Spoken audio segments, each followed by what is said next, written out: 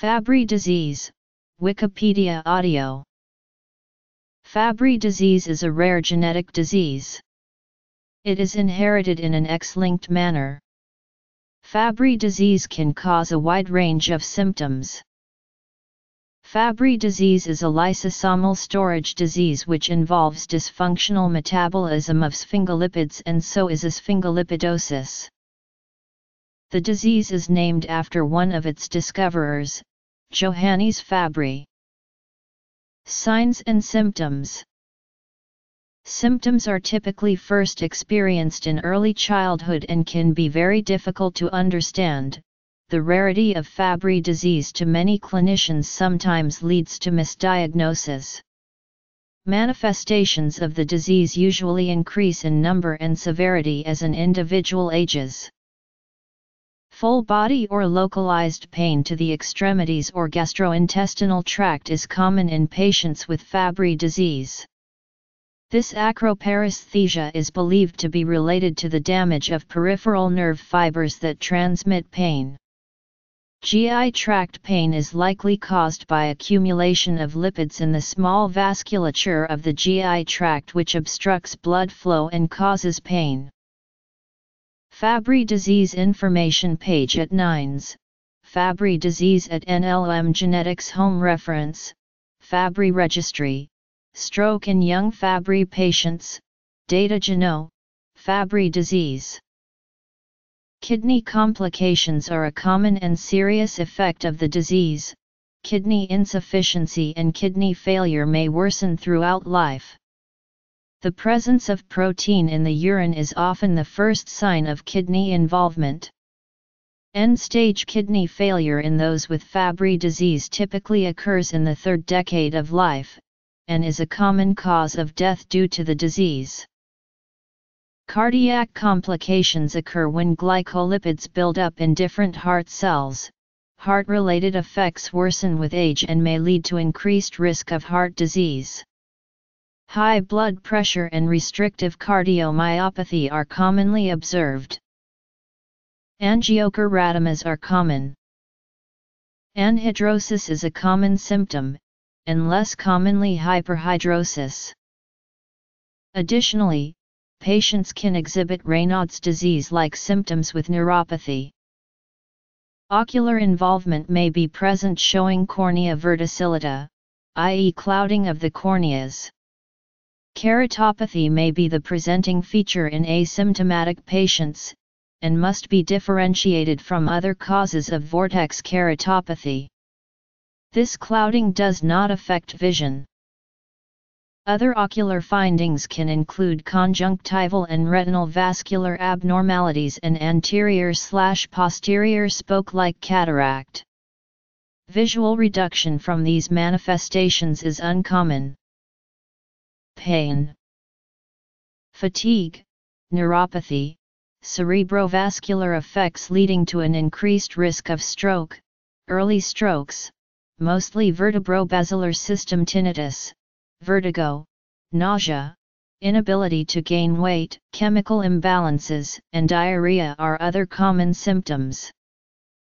A deficiency of the enzyme alpha-galactosidase A due to mutation causes a glycolipid known as globotriaosylceramide to accumulate within the blood vessels, other tissues, and organs. This accumulation leads to an impairment of their proper functions.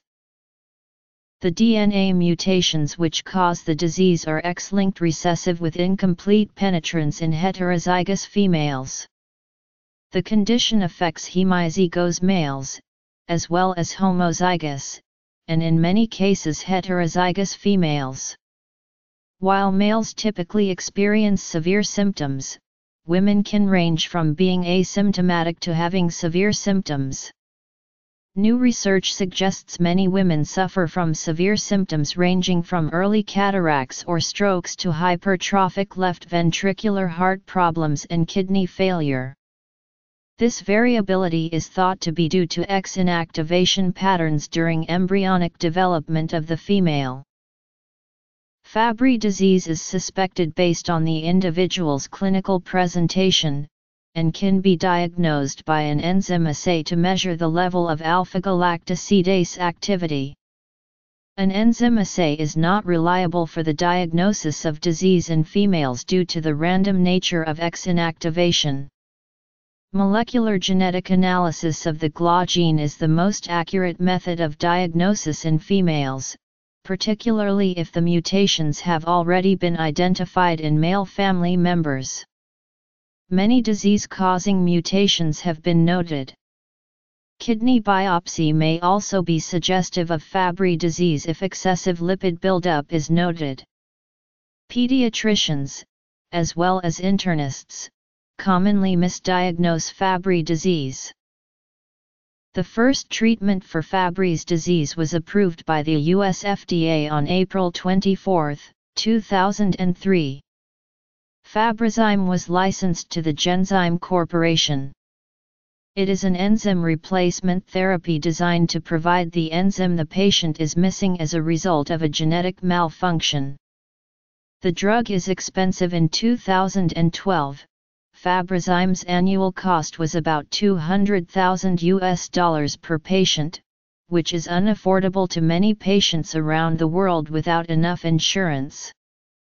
ERT is not a cure, but can allow improved metabolism and partially prevent disease progression, as well as potentially reverse some symptoms. The pharmaceutical company Shire manufactures agalsidase alpha under the brand name Replagal as a treatment for Fabry's disease, and was granted marketing approval in the EU in 2001. FDA approval was applied for the United States. However, Shire withdrew their application for approval in the United States in 2012, citing that the agency will require additional clinical trials before approval. Clinically the two products are generally perceived to be similar in effectiveness. Both are available in Europe and in many other parts of the world, but treatment costs remain very high. Kidney Heart Besides these drugs, a gene therapy treatment is also available from the Canadian Institutes of Health. Other treatments. Skin. Other manifestations. Pathophysiology. Diagnosis. Treatment. Pain associated with Fabry disease may be partially alleviated by ERT in some patients, but pain management regimens may also include analgesics, anticonvulsants, and nonsteroidal anti-inflammatory drugs, though the latter are usually best avoided in renal disease. Life expectancy with Fabry disease for males was 58.2 years, compared with 74.7 years in the general population, and for females 75.4 years compared with 80.0 years in the general population, according to registry data from 2001 to 2008. The most common cause of death was cardiovascular disease, and most of those had received kidney replacements. Fabry disease is estimated to occur in 1 in 40,000 to 1 in 120,000 live births. Prognosis. Epidemiology. Pop culture references. Sources and further reading